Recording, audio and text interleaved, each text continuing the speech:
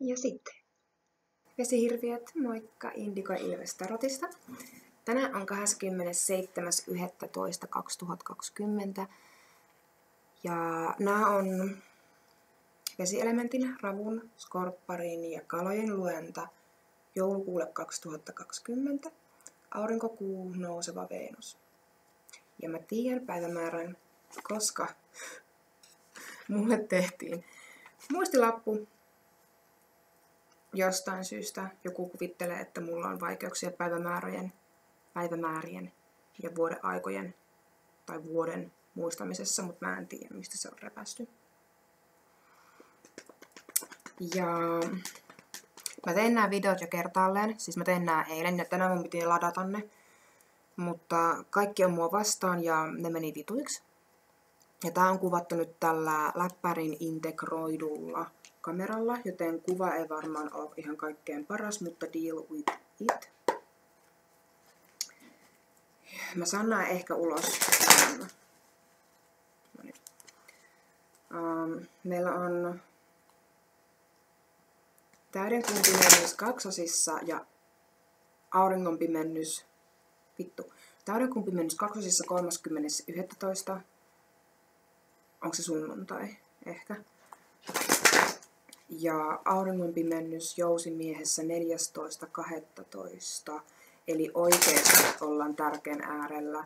Isoja, isoja tärkeitä asioita, isoja muutoksia, oikeasti isoja muutoksia. Sitten on perustavanlaatuisia muutoksia meidän elämässä, mitkä saattaa tuntua ekana, ekaksi epämukavalta perseeltä, mutta ne on oikeasti kaikki meidän parhaaksi. Mutta sitten katsotaan vesielementille joulukuulle 2020. Rapu, kalat, skorpioni, aurinkokuun nouseva Venus.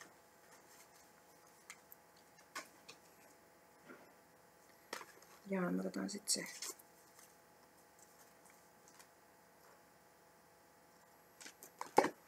Me saatiin aurinko sekä pakan pohjalla Doll to Romance käänteisenä. Mitä mä sanoin auringon pimennyksestä ja siitä isoista muutoksista elämään, um, mitkä tuntuu aluksi ihan tosi nihkeille. Voi tuntua aluksi tosi nihkeille. Tää voi esimerkiksi olla avioero, ero, muutto, työpaikan vaihdos, mutta ne tulee oikeasti meidän omaksi parhaaksi.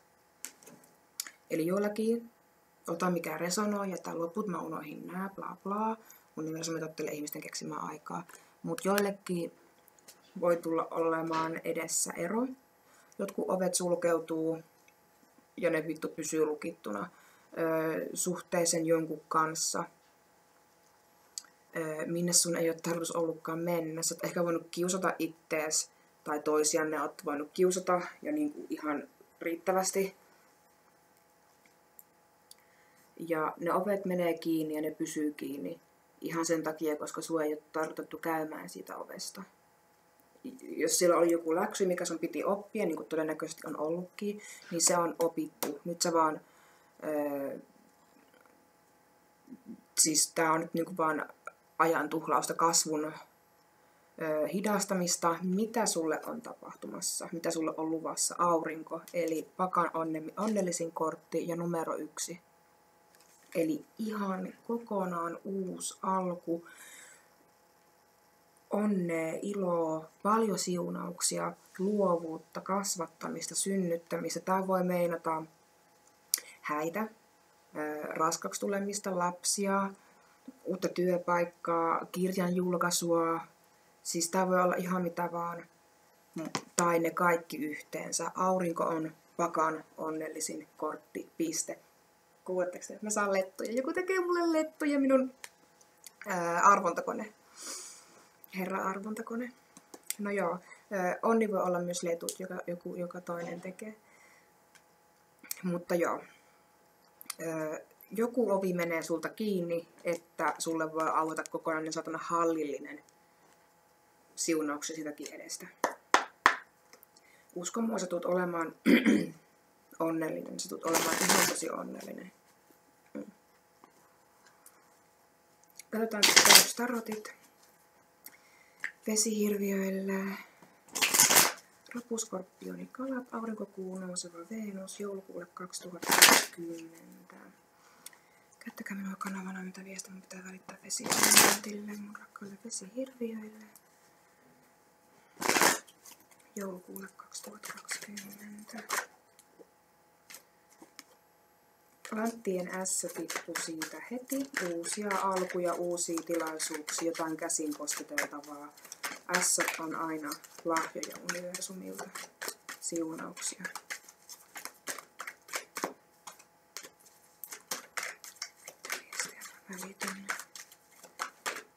Se tuli taas! Ja siellä on kuolema pohjalla. Oikeasti uusi talo, syntymä, muutto, rahallinen, joku jotain rahaa voi tulla jostain, uusi tilaisuus, maailman kymppi. Mä jätän tämän luennon kohta niin tähän. Miekkojen femmonen ei semmoista energiaa enää katella. Me pääsetään irti kaikesta semmosesta.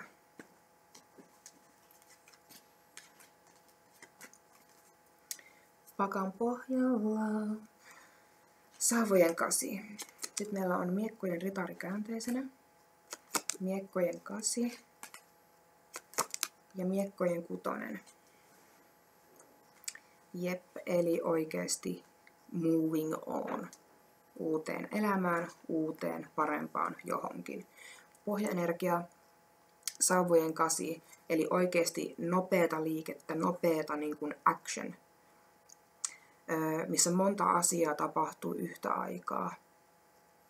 Se, missä sä oot ollut aikaisemmin jumissa, ehkä monet asiat on voinut tuntua siltä, että ne on jumissa. Työ ei suju, rakkauselämä kusee, rahaa ei tule, et pääse matkustelemaan. Mä en tiedä kyllä päästä miten pian matkustelemaan oikeasti taas, kun elämä on tämmöistä hashtag korona. Mutta tuntuu, että niinku että mikä ei ole oikein sujunut pitkään aikaan, niin nyt ne lähtee sujumaan silleen, että vittu, sä saat saada paskahalvauksen sille, että mitä vittu, kun kaikki tapahtuu yhtä aikaa. Mutta hei, se on muutos parempaa silti. Miekko ja ritori käänteisenä, äh, ilmainen elementin energia, kaksonen vaaka, vesimies, aivojumi, Mm.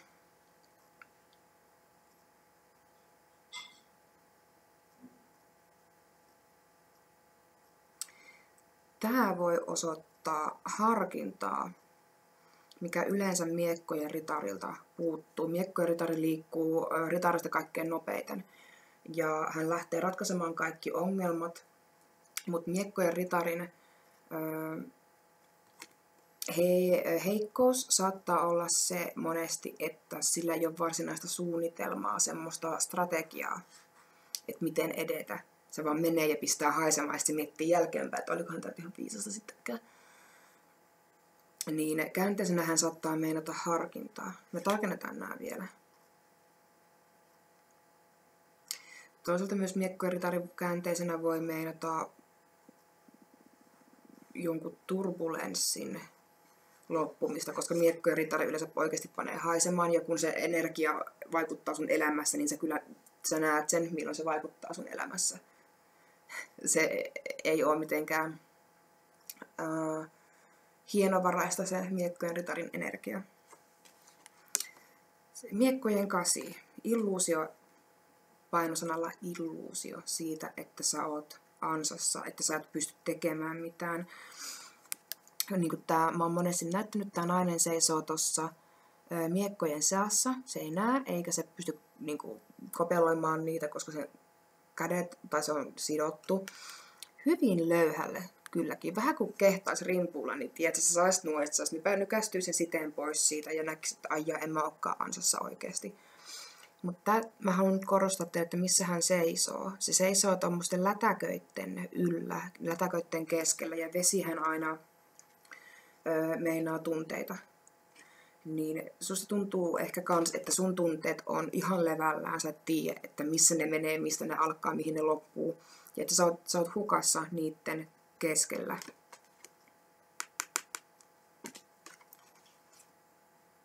Mutta älä oo. Sä oot jättämässä tämän taakse, miekkojen kutonen. Konflikti jää taakse, vaikeudet jää taakse, sä oot silleen fuck this shit, ja sä lähdet eteenpäin kohti hyvin ansaittua lepoa, rauhaa.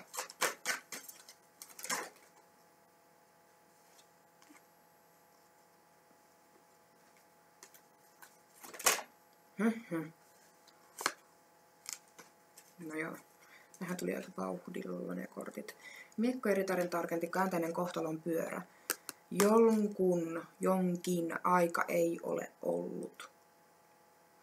Kohtalon pyörä käänteisenä tulee silloin, kun ajoitus on väärä. Se meinaa myös epäonneen. Asiat ei ole luistanut, asiat ei ole mennyt öö, ete- eteenpäin hyvästä syystä. Ja tämä on joku isompi syy, koska kohtalon pyöränä on suurta arkanaa, eli universumin kortteja. Joku asia ei ole edennyt, koska sen ei ole kuulunut edetä. Miekkojen kasin siihen loikkas kaksi, sauvojen S sekä käänteinen miekkojen lähetti lisää ilmaelementin energiaa. Sulla voi olla omalla kartalla vahvana ilma, tai olla tekemissä ilman kanssa, tai olla olematta. Käänteinen miekkojen lähetti meinaa kommunikaation puutetta, selkeän ajattelun, logiikan puutetta, um, uusien ideoiden, ei ole, ei ole uusia ideoita, niiden puutetta, kun niitä ei ole. Sä et tiedä, miten toimia, mitä tehdä. Sulta puuttuu... Sä et vaan tiedä. Se on sumunen pää, tiedätkö? Tiedätkö varmaan?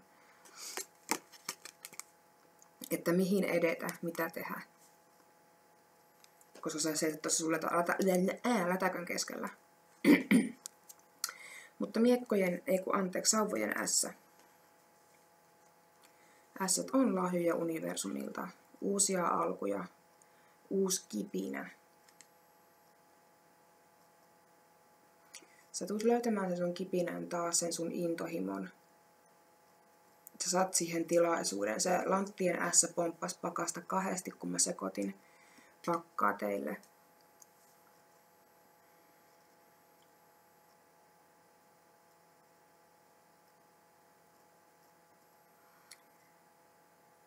se, missä sun pää on ollut sumunen, kun sä oot tuntenut, että sä oot ansassa, levällään, tunteet levällään, mieli levällään, sä et tiedä, miten sä pääset pois tuosta lätäköstä, niin kohta sä tiedät. Lant, äh, miekkojen kutonen tarkennettiin käänteisellä sauvojen kympillä, eli sä tulet laskemaan jonkun taakan pois harteilta, sä tulet jättämään jotain taakse, kympit meinaa täyttymyksiä, päätöksiä. Sä tulet jättämään jonkun tosi raskaan, jonkun rankan henkisesti ja kautta tai fyysisesti rankan vaiheen, asian, yhteyden, elämäntilanteen taaksesi. Sut olemaan vapaa, hengittämään vapaasti. Kun kaikki lopultakin virtaa niin kuin niiden pitäisi. Joku jumalaton blokki on poissa.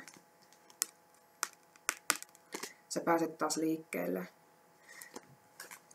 Joku ei, joku ei, jokin ei toiminut aiemmin, koska sen ei kuulunut toimia. Se ei ollut vielä oikea. Tämä tulee tosi vahvasti tämä divine timing, eli tämä aika ei ollut oikea. Asiat ei toiminut silloin, koska ei ollut sen aika. Kulisseissa oli vielä paljon, mitä piti selvitellä, sillä saattaa olla vieläkin. Kärsivällisyyttä pitää olla,